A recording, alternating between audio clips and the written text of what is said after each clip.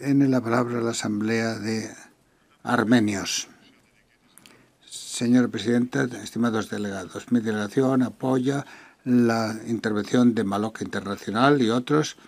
No hemos recibido el texto en cuestión más que en inglés. Nuestra delegación pide que se respete la idea de consentimiento libre previo informada de, para los pueblos indígenas y sus representaciones.